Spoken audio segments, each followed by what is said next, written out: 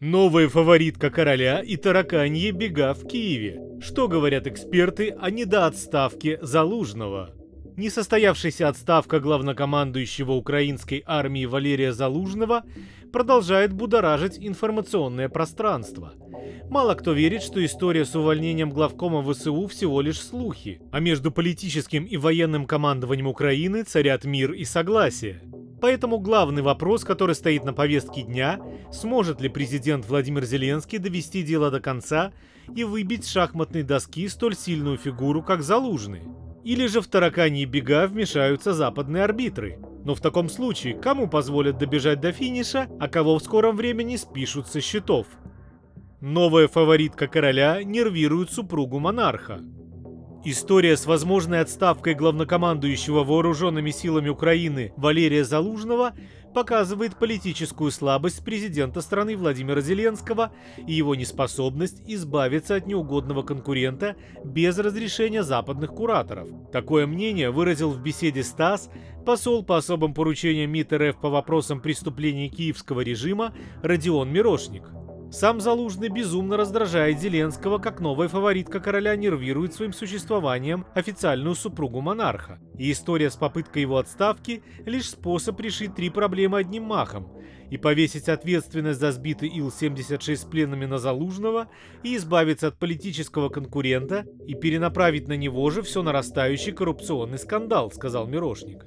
При этом, по его словам, у Зеленского не хватило политической самостоятельности, чтобы избавиться от Залужного. Почему Зеленский не рубанул с плеча? Просто потому, что у фаворитки есть связи с кардиналом. По военной линии внешнего взаимодействия ни американский коллега, ни британский явного недовольства Залужным не высказывали, а соответственно они могут за него вступиться и поставить какие-то позиции помощи в прямую зависимость от сохранения Залужного на своей позиции. Потому Зеленский, насколько видно из инсайдов, попытался дожать Залужного до заявления по собственному желанию. Но похоже, что не вышло, и стороны готовятся к новым стычкам. Каждый побежал жаловаться кураторам по своей ветке, отметил дипломат. Мирошник добавил, что несмотря на ряд провалов, Запад считает Залужного перспективной политической фигурой. Ответственность за провал контрнаступа официально лежит на нем, так как и запросы на технику и боеприпасы западникам исходили от него, и противостоять политической погоне Зеленского за символами он тоже не смог. Но из океана явно намекнули на политическую перспективу Залужного. И в украинском политическом бомонде забурлило. Игроки начали группироваться по разным лагерям, пытаясь угадать, какая лошадь выигрышная. И то, что Зеленский не смог снести Залужного за закрытыми дверями, лишь подчеркивает его политическую слабость и зависимость. А значит, политические тараканьи бега в Киеве продолжатся, кромсая псевдомонолитное украинское политическое пространство, заключил Мирошник. Залужный – сильный лидер, но США нужен мясник. Отставка главнокомандующего вооруженными силами Украины не будет неожиданностью, поскольку украинский лидер Владимир Зеленский создал тоталитарный режим. Такое мнение в беседе с «Известиями» высказал политолог и бывший журналист американского издания The New York Times Джон Варолли. Зеленский – тиран и диктатор. Он создал тоталитарный режим, и все это было совершенно ожидаемо. Никаких сомнений. Генерал Залужный покушался на власть Зеленского, он почти стал новым кандидатом в президенты. И это не понравилось Зеленскому, ведь он хочет тотального контроля. Он хочет получить всю силу, всю власть и все деньги Запада. Все эти миллионы долларов он хочет владеть ими, сказал политолог. Он также обратил внимание на то, что Залужный является сильным лидером. Залужный – это без сомнения не просто генерал, это сильный лидер. В принципе, все генералы должны быть сильными лидерами, это нормально, отметил Вороли. По его мнению, США хотели бы видеть на месте главкома ВСУ главу Главного управления разведки Минобороны Украины Кирилла Буданова. Что касается Буданова, он как раз настоящий мясник, да еще и желаемый мясник. Он очень опасный, очень непредсказуемый. Он использует терроризм в качестве оружия ради цели. И это как раз те качества, которые хочет видеть западное правительство. Белый дом, конечно, хочет видеть эти качества в главнокомандующем ВСУ, так что Буданов – это настоящее оружие США, которое будет своим насилием достигать их же цели и цели ВСУ, сказал Вороли. Он также обратил внимание на то, что стало заметно нежелание украинского народа участвовать в конфликте. Знаете, я знаком со многими украинцами, и все они понимают, что их просто используют как марионеток для атак на Россию. Они осознают эту реальность, и это очень горькая реальность. Они видят разрушение собственной родины, поделился Вороли. Он также отметил, что украинцы видят, как жители США, Великобритании и других западных стран становятся богаче и здоровее, пока они платят за этот вооруженный конфликт своими жизнями. Украина – это безуспешное государство, полностью погрязшее в коррупции, насилии и беззаконии. И поэтому никто не понимает, что там происходит на самом деле, что происходит в Киеве. Белый дом постоянно посылает туда специальные военные группы, тонны оружия, миллионы и миллионы долларов, но они не понимают, что там происходит. Они не понимают, куда уходят их деньги и оружие. Киев – это черная дыра. Украина – это цирк, а им управляет настоящий клоун. И этим все сказано, резюмировал Вороли.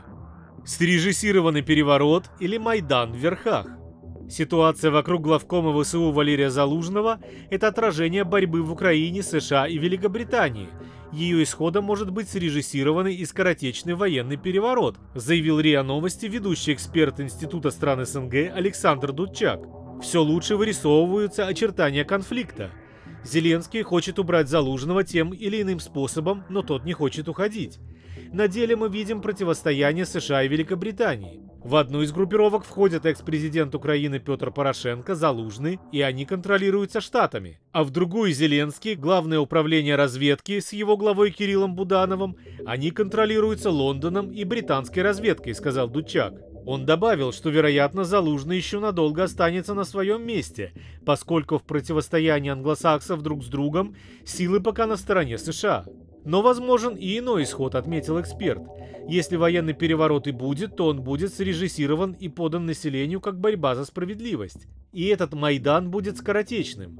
Просто переставит верхушки для повышения эффективности киевского режима, заключил Дучак. Эксперт пояснил, что в отношении России и Лондон, и Вашингтон имеют много общего, но у них есть и ряд противоречий, в первую очередь по развитию украинских территорий.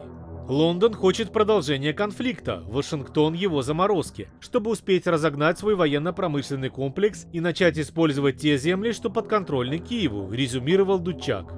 Сигнал Зеленскому от Запада. Покровители недовольны. Конкуренция между главкомом ВСУ Валерием Залужным и Владимиром Зеленским контролируется Западом. И вброс об отставке, скорее всего, был организован для того, чтобы показать Зеленскому его бессилие. Об этом в интервью газете «Взгляд» сказал украинский политолог Владимир Скачко. Шумиха с отставкой Залужного – однозначный сигнал Зеленскому со стороны западных стран о том, что покровители недовольны украинским руководством. Вот они и организовали вброс, чтобы показать, Зеленский не в силах даже уволить своего главного конкурента. Что может быть лучшим предупреждением, чем демонстрация недееспособности, сказал политолог. По словам Скачков, в стране, где нет ресурсов для принятия самостоятельных решений, все шаги согласовываются с внешними кураторами.